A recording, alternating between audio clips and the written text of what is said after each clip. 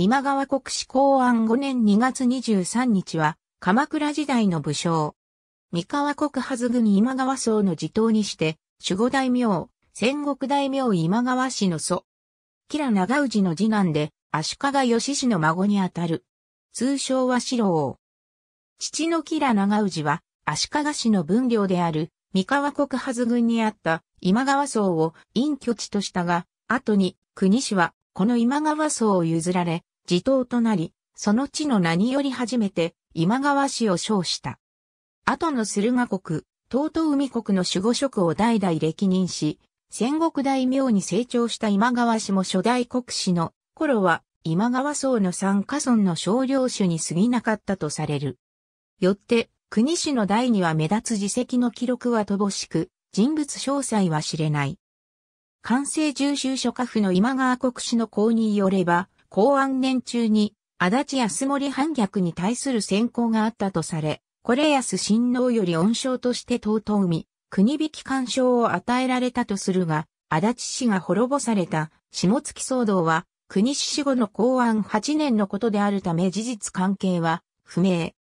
また、この時、父長氏から先祖の源義家以来送電の封建二振りのうち、辰丸を譲り受けたとも言う。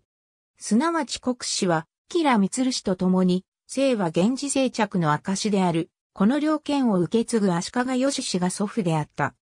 この封建分与の伝承は、義氏の守護人国である、三河国に腐食された足利一族の中でも今川、吉良領氏が、陽の存在とされたことを意味する。公安4年1月18日失家、翌、公安5年2月23日即居。去年40、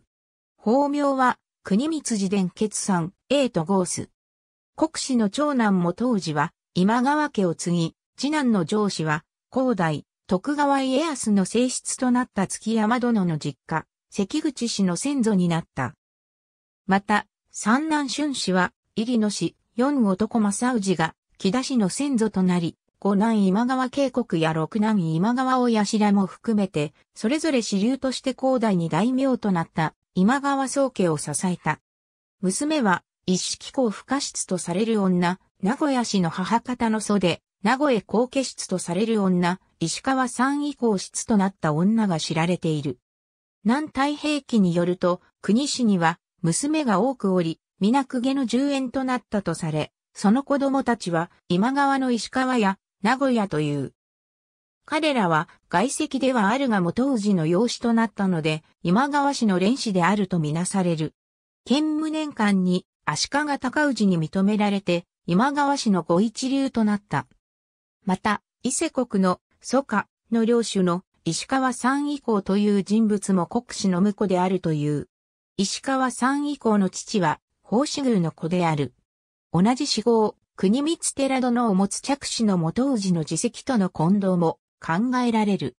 また、幼樹地蔵のキラシケーズによれば、兄、キラ光氏には、友切丸、弟、国氏には、ヒゲ切丸の両剣をそれぞれに授けたと記す。なお、国氏、万子兄弟はこの友切れ、ヒゲ説に宿る心霊を恐れ、両剣を五剣や綿宮に収めて数形したと伝える。没年には諸説がある。完成重修書家府では公安4年2月23日、孫秘文脈には公安6年2月23日で共に、去年40とする。兄に、キラミツル氏、足利康氏は叔父にあたる。ありがとうございます。